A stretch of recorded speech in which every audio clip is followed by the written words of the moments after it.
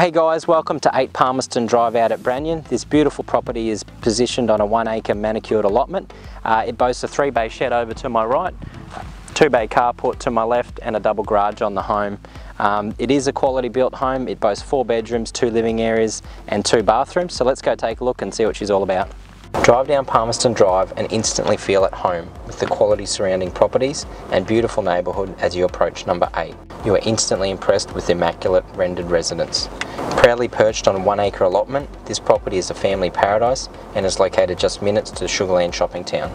Enter the home via the double timber doors and you are immediately overwhelmed by the open plan design. A functional layout boasts two separate living rooms with grey tiles throughout. The kitchen has all the appliances you could need, including a Fisher and Paykel dishwasher, with an abundance of cupboards and a lovely outlook over the rear yard. The dining area is large enough for any dining suite and has glass sliding doors to the outdoor area for extended family get-togethers. Four generous sized bedrooms are all spaced evenly apart and boast grey toned carpets and a large mirrored built-in wardrobes. The main bedroom has a large walk-in robe, ensuite and reverse cycle air conditioner. The main bathroom includes separate bath and shower. Make it a priority to inspect this property and your family and pets will thank you for it.